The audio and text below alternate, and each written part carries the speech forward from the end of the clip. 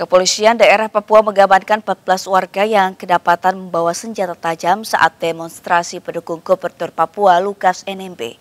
Sementara itu, Dandrem 172 Brigjen TNI JO Sembiring mengevaluasi pengamanan aksi demonstrasi para pendukung Gubernur Papua.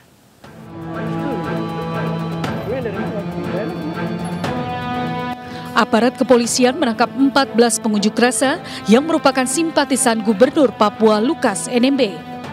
Sebanyak 14 orang yang diamankan dari dua lokasi terpisah itu kedapatan membawa senjata tajam saat hendak mengikuti aksi demo Save Lukas NMB di Taman Imbi Jayapura.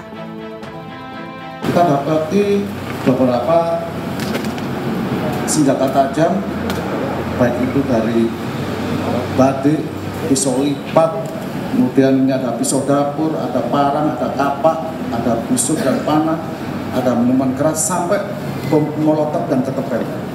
Maka ada yang menghimbau untuk tidak melakukan aksi longmas. Jadi kemarin kita evaluasi longmas tidak ada, tetapi ada konvoy dan itu semua dalam pengawalan. Kita berterima kasih untuk itu.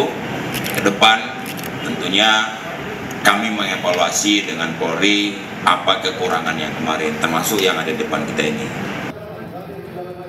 Sebelumnya ribuan masa dari Koalisi Rakyat Papua atau KRP menggelar aksi demonstrasi untuk mendukung Gubernur Papua Lukas NMB di Taman Imbi, Kota Jayapura, Papua.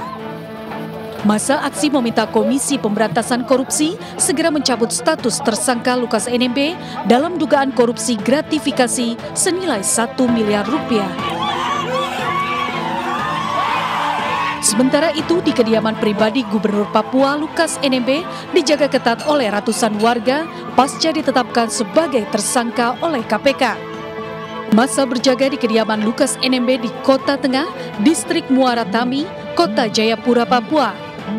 Bahkan masa melanggar orang nomor satu di Papua ini keluar rumah karena khawatir akan ditangkap oleh KPK. Dari Jayapura, Papua, Omega Bato Kurambawa, iNews melaporkan.